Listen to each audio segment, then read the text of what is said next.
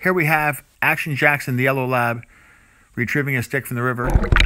We have a combination of above water and below water video. My daughter used her GoPro to take some underwater shots, and they give a different perspective for Action Jackson's retrieving. I really hope you enjoy this video. Thank you very much for watching.